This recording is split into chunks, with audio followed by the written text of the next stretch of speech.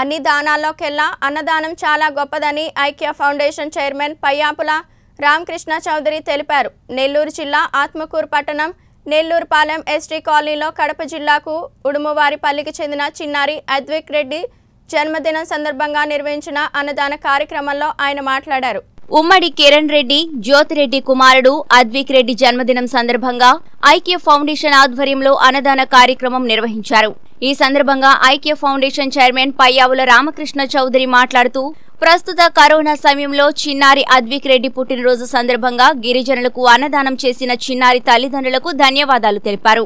ఈ కార్యక్రమంలో ముఖ్య అతిథిగా పాల్గొన్న ఇరవై మూడవ వార్డు కౌన్సిలర్ కామాక్షయ్య నాయుడు మాట్లాడుతూ ఐక్య ఫౌండేషన్ ఆధ్వర్యంలో తమ వార్డులోని గిరిజనులకు అన్నదానం చేపట్టడం ఎంతో అభినందనీయమని తెలిపారు. ఐక్య ఫౌండేషన్ రామకృష్ణ అందరికీ ఇరవై మూడో వార్డు కౌన్సిలర్గా నా అభినందనలు తెలియజేసుకుంటూ ఇలాంటి కార్యక్రమాలు ఐక్య ఫౌండేషన్ ఆధ్వర్యంలో ఇరవై మూడో వార్డులో ఇంకా మంచి పనులు చేయాలని ఆశిస్తున్నాను. అందరికీ నమస్కారం. నా పేరు పయ్యాల రామకృష్ణ చౌదరి ఐక్య ఫౌండేషన్ వ్యవస్థాపకులు. ఈ కడప జిల్లా పుల్లంపేట గ్రామవాసి అయినటువంటి ఈ ఉమ్మడి కిరణ్ రెడ్డి శ్రీమతి జ్యోతిరెడ్డి గారి జ్యోతి కుమారుడు అద్దిక్ రెడ్డి మొదటి జన్మ సందర్భంగా ఆత్మకు మున్సిపాలిటీ ఇరమూడు వార్డులోని ఎస్టీ కాలనీలో ఈ అన్నదాన కార్యక్రమం జరిగింది. సో ఈ కార్యక్రమానికి ముఖ్య అతిథిగా వచ్చినటువంటి ఇక స్థానిక కౌన్సిలర్ గౌరవనీయులు కామాక్షి నాయుడు గారు రావడం జరిగింది. సో ఈ అన్ని అన్ని దానాలకు అన్నదానం చాలా గొప్పదని ఈ కుటుంబ సభ్యులు ముందరకు వచ్చి ఈ కరోనా లాక్డౌన్ సమయంలో ఎంతమంది నిరాపకులు ఆశ్రయులు ఆగబాద్ అన్నడుస్తున్నారు సో అలాంటి వారికి మన వంతుగా కొంతగా ఒక పూటైన ఆగబాద్ ఉద్దేశం ఉద్దేశంతో ముందుకు వచ్చారు సో ఆ కుటుంబానికి మేము ధన్యవాదాలు తెలియజేస్తున్నాము. సో ముందుగా అద్దిక్ రెడ్డికి ఆది జన్మ ఆది ఆత్మీయ జన్మ తెలియజేస్తున్నాము.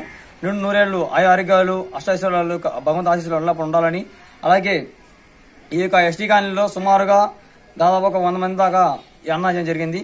సో ఈ యొక్క కార్యక్రమానికి సహకరించినటువంటి మన కామాక్షి గారికి మన ఐక్య ఫౌండేషన్ సభ్యులందరికీ పేరు ధన్యవాదాలు తెలియజేస్తూ సో భవిష్యత్తులో కూడా ఇలాంటి అన్నదానం నిర్వహించి అభాగ్యులకు ఆశ్రయాలు చేస్తుంటారు. అలాంటి వారికి మేము ఆకలి ముందు ఉంటాము. సో ప్రతి ఒక్కరు మనం గమనించేది లాక్డౌన్ సమయంలో ఎంతో మంది భయానికి గురవుతుంటారు. అలా కాకుండా ఎవరు ఆగబాది ఉంటారో ఒక అడుగు ముందరగా వేసి ఒక పసరు మాస్క్ ధరించి మీ వంతుగా సాహసగా అందించాలని కోరుకుంటూ సెలవు